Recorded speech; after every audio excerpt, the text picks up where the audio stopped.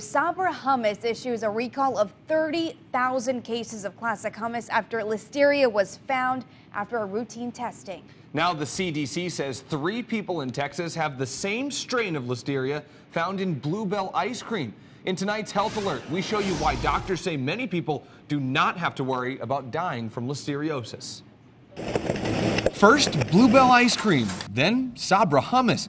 Now, three people in Texas are sick with the same strain of listeriosis from the Kansas hospital where three people died.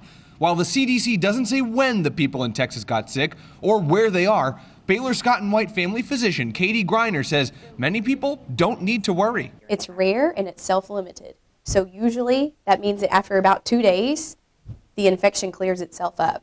People who eat contaminated food often experience vomiting, diarrhea, fever, and muscle aches that last about two days, just like a stomach bug. It doesn't get killed like other bacteria do by refrigeration. 90% of people who get listeria infections are in one of those high risk groups. She says people older than 65, pregnant women, and those with weak immune systems are most at risk and can develop severe, potentially fatal symptoms. People that are immune compromised can get systemic infection like meningitis and they can get septic and have disease everywhere and it can make them very very sick if they're sick appearing then they typically go in the hospital and get iv antibiotics But where does listeria come from? The CDC says animals can carry the bacteria without appearing sick and contaminate the foods they produce. People typically get it by eating foods with unpasteurized dairy, like certain milks or cheeses.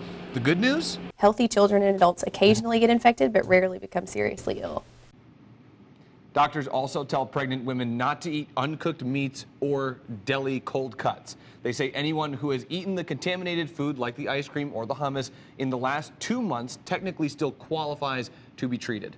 Now, here's something that, uh, Chris, I've been thinking about. You know, what if you have eaten these contaminated foods like hummus or ice cream, but you're not experiencing any of these symptoms? I mean, that's a good question. The doctor that I spoke with today says you should be okay as long as you don't fall into one of those high risk categories old, pregnant, or a weak immune system. If you do start having symptoms, though, doctors say you should go in to see them right away. All right, thanks so much, Chris.